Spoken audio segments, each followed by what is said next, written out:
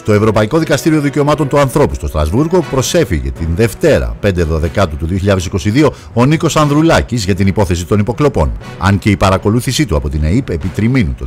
2021 ομολογήθηκε από τα πιο επίσημα χείλη, τον ίδιο τον Πρωθυπουργό, δεν του εδόθη η δυνατότητα μέχρι και σήμερα ούτε να πληροφορηθεί με επίσημο τρόπο τους λόγους για τους οποίους η επισύνδεσή του είχε διαταχθεί, ούτε να κινήσει δικαστικός ή ενώπιον της Βουλής κάποια διαδικασία για τον χαρακτηρισμό της επισυνδέσεως αυτής ως παράνομης όπως όντως ήταν. Με αυτόν τον τρόπο παραβιάστηκε το δικαίωμά του για αποτελεσματικό ένδικο βοήθημα, effective remedy, που κατοχυρώνει το άρθρο 13 της Ευρωπαϊκής Συμβάσεως των Δικαιωμάτων του Ανθρώπου. Στην προσφυγή του υπογραμμίζει το γεγονός ότι ούτε η ισχύουσα νομοθεσία, ούτε ακόμη χειρότερα το κατατεθέν κυβερνητικό νομοσχέδιο προβλέπουν ένα στοιχειοδός αποτελεσματικό ένδικο βοήθημα για αυτό το σκοπό. Κάτι που από χρόνια σε σειρά αποφάσεών του το Ευρωπαϊκό Δικαστήριο Δικαιωμάτων του Ανθρώπου έχει απερίφραστα καταδικάσει. Με την ελόγω κίνηση, ο πρόεδρος του Πασόκ Κινήματος Αλλαγής επιδιώκει την εφαρμογή αυστηρών κανόνων τόσο στην Ελλάδα όσο και στην Ευρώπη που να διασφαλίζουν για όλους τους πολίτες δύο από τα πολυτιμότερα ένομα αγαθά στις σύγχρονες κοινωνίες την ιδιωτική ζωή και την ελευθερία της επικοινωνίας όλων μας.